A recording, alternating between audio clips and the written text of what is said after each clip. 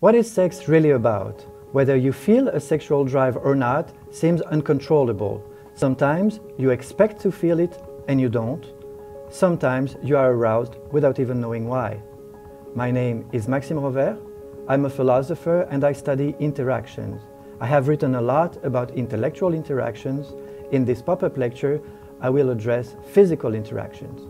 On this topic, I will consider if our bodies really crave uh, sex, simple sex, or seek, in fact, for exploration.